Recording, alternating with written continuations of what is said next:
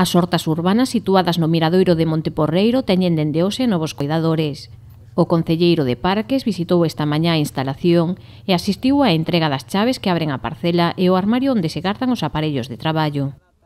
Por fin podemos abrir ao público eh, estes bancais de Monteporreiro, a verdade é que estamos eh, moi contentas co, co traballo que se fixo aquí de renovación das, das terras, de e a proceso propio de adxudicación que foi moi moi positivo hai que manter as hortas sempre en bo estado, teñen que estar cultivadas porque senón se lle retiran, non poden plantar eh, leñosas, plantas leñosas, simplemente poden plantar eh, especies que sean hortícolas e eh, aparte aromáticas, pero sempre que teñan porte arbustivo, que teñan porte baixo que estén sempre controladas.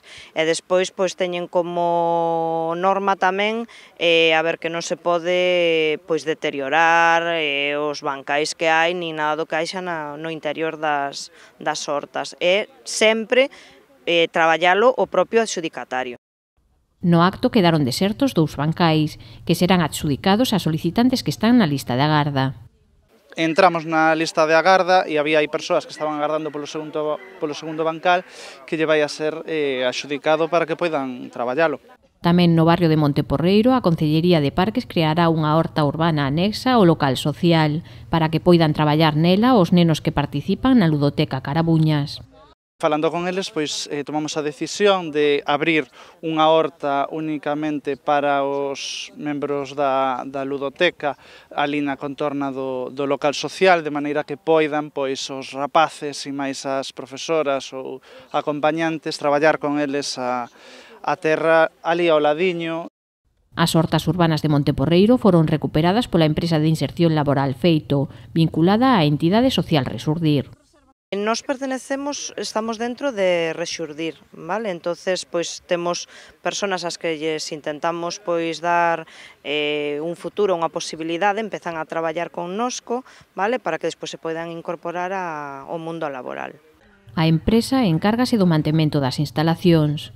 Ademais, ofrece asesoramento aos usuarios.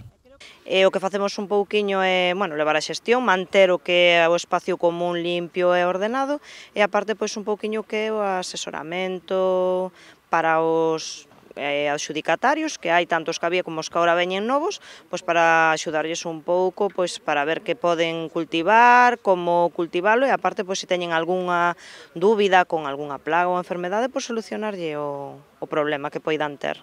O Concello de Pontevedra realizou durante os pasados meses un proceso de reformulación das hortas urbanas municipais para darlles unha articulación legal máis acaída e unificalas no Departamento de Medio Ambiente, xa que ata agora a finca do Conde a xestionaba igualdade.